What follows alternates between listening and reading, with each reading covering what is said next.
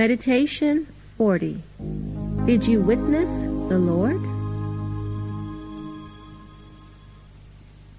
This morning when Krishna took his breakfast, he kept asking for more of his favorite items.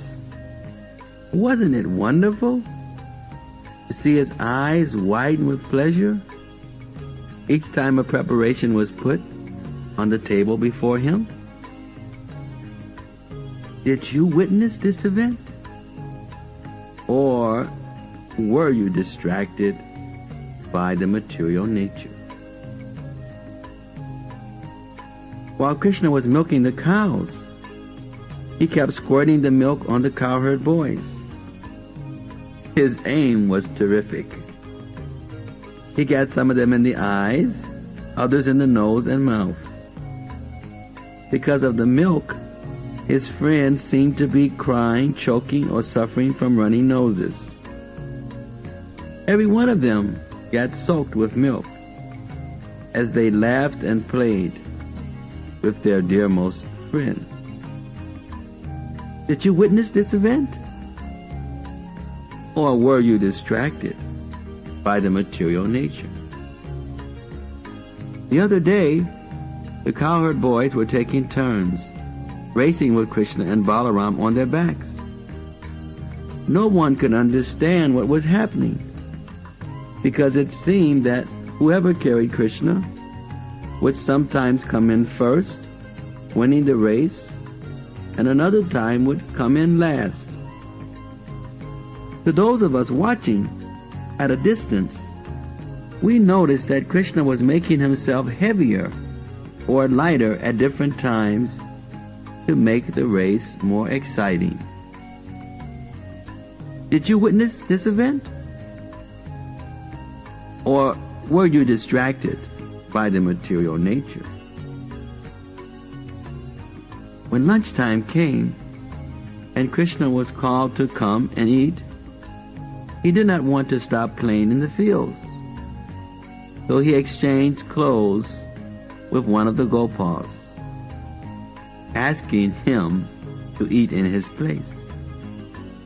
He instructed his friend not to speak so that no one would guess it was not he. When the young Gopal who was imitating Krishna tasted the wonderful preparations that had been cooked with so much love by Radharani, he immediately began shouting, Radhe Sham, Radhe Sham, Jai Jai Sri, Radhe Sham. Of course, everyone noticed that this was not Krishna's voice. But as he started dancing around the table, his turban came off, revealing his actual identity. Did you witness this event? Or were you distracted by the material nature? The gopis were trying to finish certain duties so they could join Krishna in the rasa dance. They were still talking about the events of yesterday's dance. When Krishna changed into his Nrsingadev form and started chasing everyone. What a delight it was. Seeing the residents reciprocate with the Lord in such an astonishing way. Did you witness this event? Or were you distracted by the material nature? The other day, Krishna had a message delivered to both the groups of Radha and Chandravali.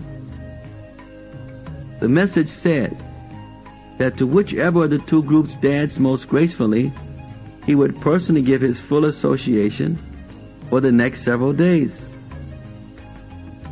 Both groups came dressed so gorgeously and danced across from each other, constantly looking to see if Krishna had arrived and was pleased by watching them.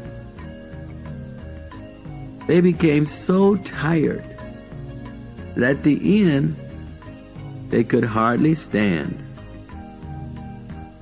To the delight of the cowherd boys, Krishna did not even show up, but was playing and dancing with them instead.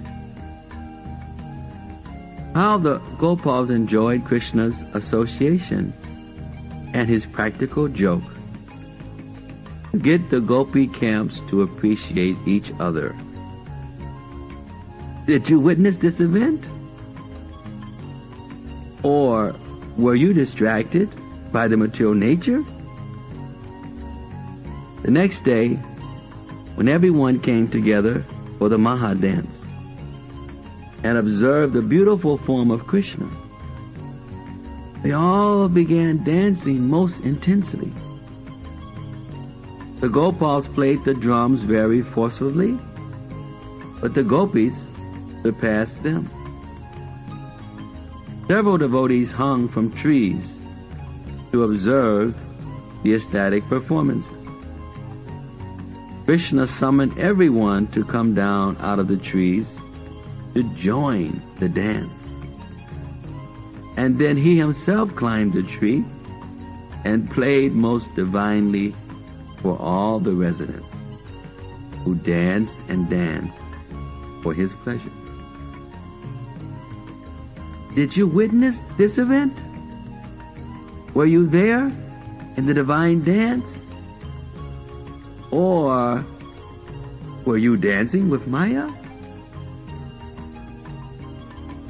Krishna and his associates are very eager to give their association to all souls.